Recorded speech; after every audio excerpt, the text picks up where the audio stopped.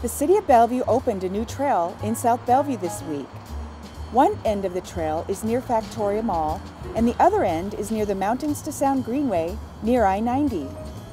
This new trail improves non motorized safety and connects nearby neighborhoods with Factoria, one of Bellevue's designated activity centers. The Mountains to Sound Greenway is a regional trail stretching from Puget Sound to central Washington. Well, it's a really important linkage because it's a really excellent time for it. The Mountains to Sound Greenway Trust is working with the City of Bellevue to design the next section of the Mountains to Sound Greenway Trail.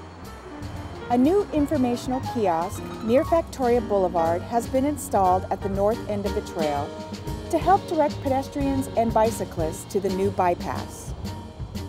This trail is a sustainable green project. To enhance the trail's appearance, trees and shrubs were planted to complete the project.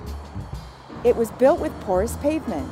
This type of material allows rainwater to seep through the pores of the pavement to the underlying rock until it reaches the natural ground.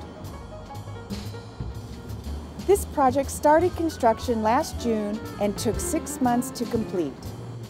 We really appreciate the City of Bellevue who did such a, a terrific job of the trail itself, the, the pervious surface, and the beautiful landscaping along the way.